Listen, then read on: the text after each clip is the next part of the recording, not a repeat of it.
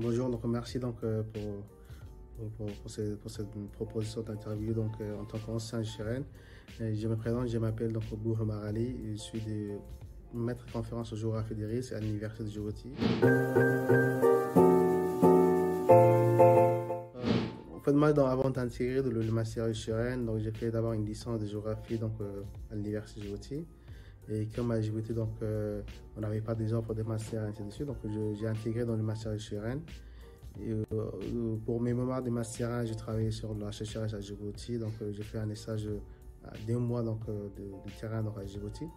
Ensuite, donc, j'étais, donc, faisais partie aussi des étudiants qui étaient donc, retenus pour le Master 2. Et lors de, l'année, donc, durant le Master 2, que j'ai fait aussi, donc, j'ai travaillé sur le risque urbain à l'Université de Djibouti. Ce qui m'a permis par la suite d'intégrer au département de géographie, donc après la soutenance de Master 2, et en tant que maître assistant, professeur assistant de géographie au département de géographie. Et deux ans après, j'ai commencé une thèse, une thèse sur le risque naturel et développement en Afrique de l'Est et plus précisément dans la région de l'Iliade, sous la direction du, professeur donc, euh, Frédéric Vinet. Et j'ai soutenu la, ma thèse le 9 mars 2020. Euh, donc, moi, je, donc, euh, je travaille donc, euh, sur, le, sur le risque naturel et donc sur le, la, la relation entre risque naturel et développement en Afrique de l'Est.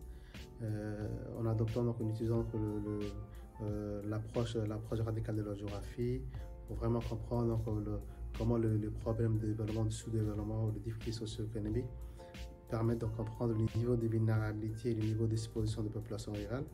Et donc là, donc, je, je fais, donc, je travaille dans, j'ai poursuivi donc mes travaux qui ont émergé dans le de, ma thèse en faisant des donc en faisant des missions à Djibouti, à Dredaba en Somaliland sur des problématiques liées aux inondations, donc liées aux sécheresses, dans des contextes caractérisés par des conditions, de vie qui sont vraiment dégradées. Euh, conseil aux, aux étudiants, donc, je pense que donc, il est très important aussi donc, aux futurs étudiants de la Syrienne d'avoir une base, une bonne, une bonne base en cartographie aussi, mais aussi donc euh, diversifier aussi donc euh, leur, leur terrain d'études.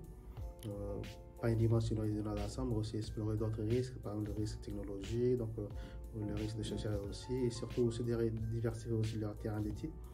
Pas uniquement en France, mais plutôt donc, donc en Afrique de l'Est, en Afrique, donc, en Afrique centrale. Donc, ceux qui ont des étudiants qui ont déjà travaillé dans l'Amérique latine, mais aussi dans plusieurs y a plusieurs terrains qui sont vraiment très variés. Moi, donc, euh, voilà, donc, euh, je suis prêt aussi d'accueillir donc, euh, des étudiants du master en Afrique de l'Est, surtout à Djibouti. Je propose aussi, donc j'ai conseillé également aux étudiants du master aussi donc, de garder contact avec les secteurs professionnels aussi. Donc ça leur permettra aussi de s'intégrer facilement donc, au niveau donc, de marché, sur le marché professionnel après la, la structure de la master. merci donc euh, à tous les collègues qui m'ont donc euh, qui m'ont accueilli donc euh, ici à Paul Valéry aussi donc en premier mois dans mon, ancien directeur de thèse c'est le professeur Frédéric Vinet qui a organisé mon séjour donc il m'a venu ici à Montpellier et qui m'a permis de reprendre contact à tous les collègues du, labo donc aussi aux collègues également du département de géographie et d'aménagement je remercie aussi donc, aux collègues également donc, du, du, laboratoire de géographie d'aménagement, le GAM, euh, en premier lieu, le professeur Frédéric, Frédéric, Liron, donc Manu Girardi, donc Jean-Philippe Chirel. Et j'ai eu l'occasion aussi de rencontrer euh, Jean-Marie Mionset, qui était aussi l'ancien président donc, euh, de Paul Valéry. Donc, et donc voilà, je remercie à toutes les personnes qui ont contribué aussi donc, à la réalisation de ces séjours donc, de professeurs invités, donc, et qui ont contribué aussi à la réussite également de ces séjours donc, à Montpellier.